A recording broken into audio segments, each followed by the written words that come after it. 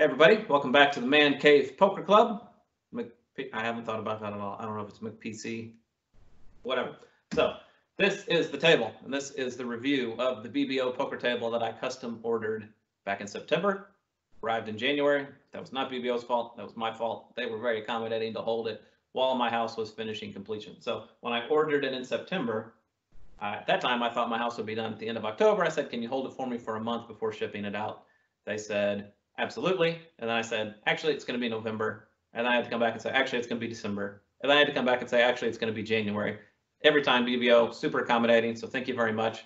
The reason I went ahead and purchased it was I wanted the X2 Mini, and I'm still very happy with that. Uh, you can see the, the whole table here. Uh, it seats eight. You could actually add a ninth, but there are eight cup holders. Uh, there's also the dealer slot cut out here. So the X2 Mini was on closeout at the time, so there was extra, you know, money off on it. And I knew it's the one that I wanted. I've been doing a lot of research on, on what I wanted. It's so fun to go play around on BBO's site and build different tables and, and spec them out. So I encourage you to go do that. Understand you're going to get lots of ads after that on Facebook, Twitter, email, whatever it is that you use. You're going to see a lot of ads. Uh, but again, these are ads I don't mind seeing. Uh, I was I was in the market for it. I would see when the specials came up. So no problem for me there. So when the X2 Mini was on sale, again, it looks like they're not making it anymore. Maybe it'll come back at some point. Um, but even now, uh, it shows sold out. Um, I think recently I saw one open box one that I guess got returned for some reason. Uh, but I love mine. I knew I wanted it, so I went ahead and paid for it. I just reached out to them, said, hey, I'm not going to be ready to take this thing yet. And they said, fine, go ahead and pay for it. Let us know when you're ready for us to ship it. So that was awesome. Thank you very much. Uh, so as you can see, again, we have eight cup holders. It seats eight. Last week we actually had nine, added another chair in, no problem. 10 might get a little tight. Nine was completely comfortable, but uh, 10, again, I mean, who wants to play 10 handed poker anyway, right? That's, that sucks. So uh, nine was fine. Eight, you know, is what I had these matching chairs for. Uh, we have the, the coin tray. I have the built-in shuffler, which we're going to uh, go over in a separate video. I absolutely love this thing. Don't regret that at all. Uh, basically, it was half the cost of the table. So the table was one piece. The shuffler being built in was another piece. Uh, it does come with a dining table top. So that's sitting over there. Let me pan over. All right, so you can see the dining table top. That's the bottom of it anyway. You can notice that it has pegs. Those pegs sit down inside of the cup holders.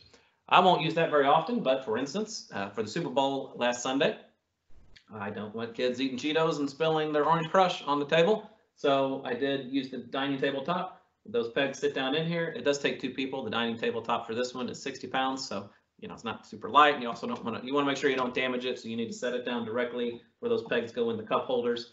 Uh, it would actually seat about 10, 11, 12 around that table. I mean, it, it's, it's a big tabletop, so it takes up more space. Uh, I specifically wanted this one, and I was fine with the eight-handed.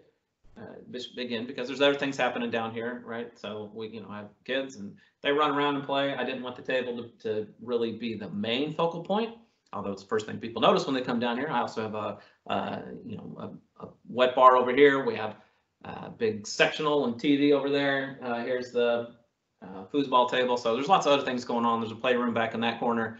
So, uh, you know, poker is not the main focus of this for you know, the rest of the family. Maybe it is for me. Uh, but anyways, this table just fit the space perfectly for me.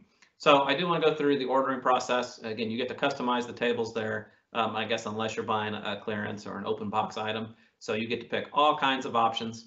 And I do want to review those, and then I'll go through the process of receiving it, how that goes, and also how uh, you know assembly goes. It was super easy, no problem.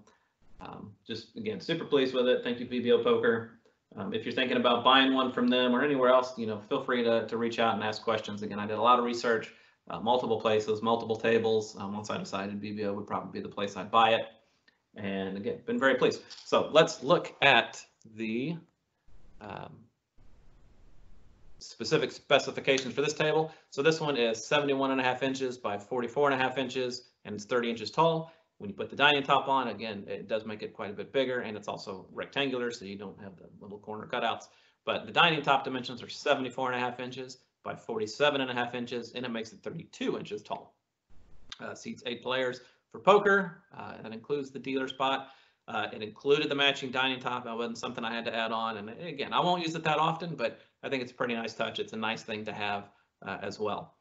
Uh, it has the X-leg pedestals, which I think look pretty cool. You know, it's nice.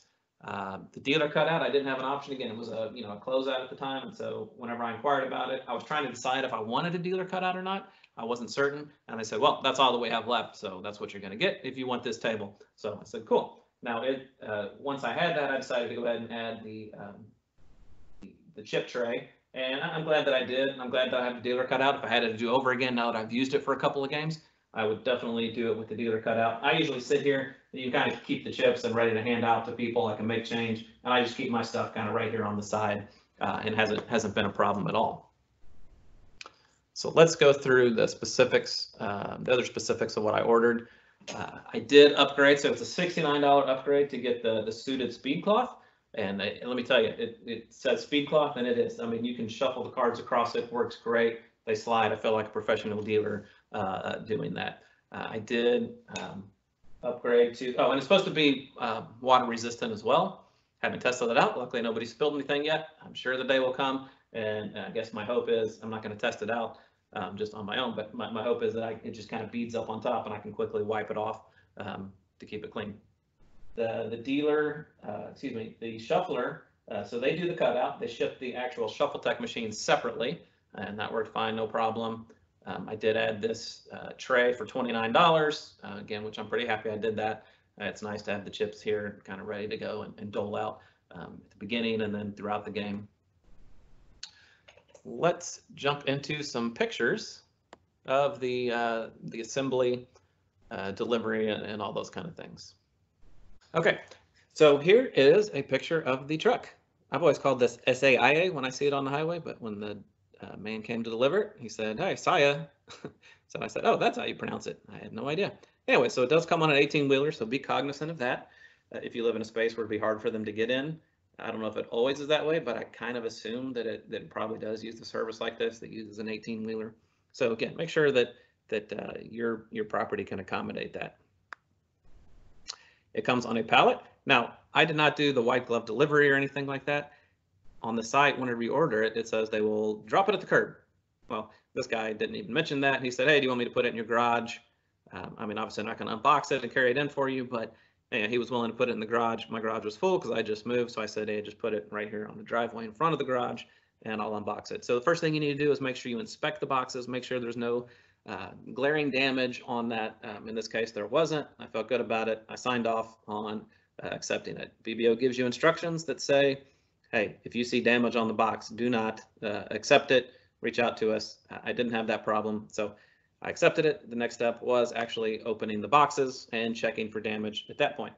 You can see here there's a small puncture in the padding. Now there was no damage on the box, so I can only assume this happened while they were actually packaging it up. So probably happened at at BBO or you know I, I don't know. That's the only explanation I can come up with. Uh, so briefly, let me let me mention this piece of it. I saw it. I took a picture. Their process is if you see damage after you unbox it, you have five days to email them, send them a picture, and describe it to them. So I did that, and they came back. And this is probably the only time where I've really been disappointed. Um, and it's not that big a deal, but but a little bit disappointed with with BBO's customer service on it. I sent them this, and they said go buy a vinyl or leather uh, patch repair kit. You know, ideally, I think they would have said, oh, you know, sorry about that we'll send one out to you. Uh, and again, I don't know how much these things cost. I haven't bought one yet.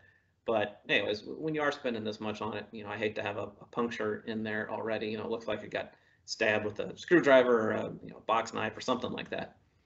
Um, anyways, so if they had just said, we'll send you one, you know, that would have been fine. Obviously, I w- I don't love it being patched even, being brand new, but, you know, it is what it is. Uh, but a patch kit would have been nice. Uh, you know, to me, that's something that they might might want to think about actually adding in with all of the the shipments. That way, it's it's there uh, in case something happens. Uh, either if it happened while shipping, bringing it in, or if you happen to do it later, just using the table. It's just something nice to have.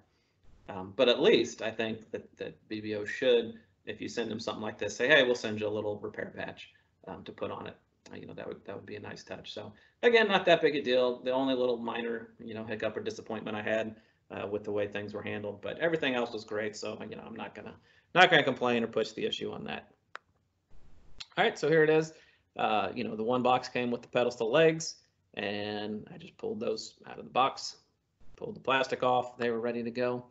Uh, you can see the little beam there on the, the, the bottom left of the tabletop. So that actually uh, shipped separately. I don't think that's always the case. Um, again, I think at some point they had to, to, reuse that or used it for a different table. Uh, so whenever I said, hey, I'm ready, I'm in my house, can you go ahead and ship the table? They said, well, actually, we're waiting on the, that support beam. You know, and I have no problem with them if they had to reuse it or something to get another table out the door since I continually had to put my shipment off. No big deal there.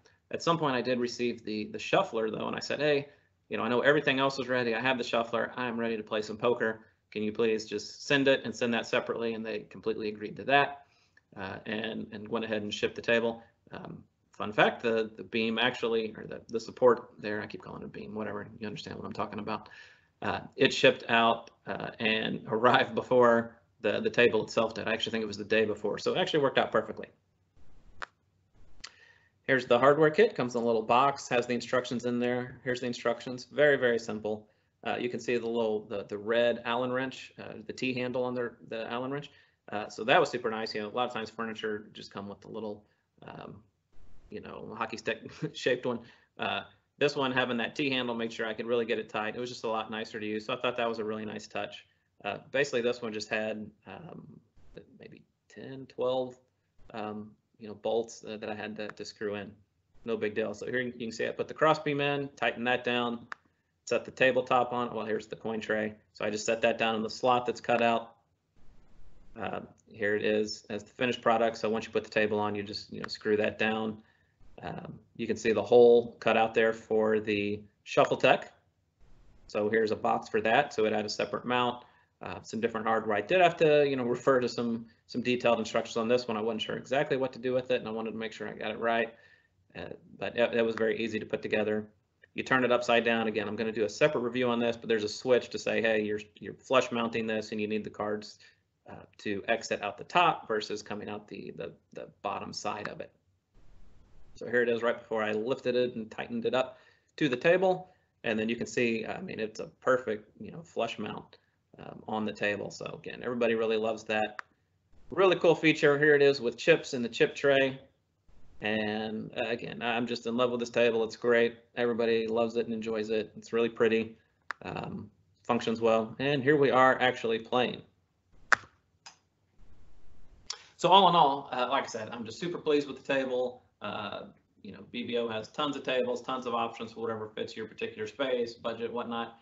Um, there's all kinds of add-ons. Uh, there's more things I could have added on, but you know, once I added the shuffler, uh, I was kind of kind of done with that piece of it. So uh, again, I'm going to do a separate review on that. I don't regret adding that shuffler at all. It's been awesome. Um, the the dealer cutout and, and coin tray has, has worked really well. Again, for eight-handed, uh, even nine-handed, this table works great. Shouldn't play with more people than that at one table anyway. Break it out into two games.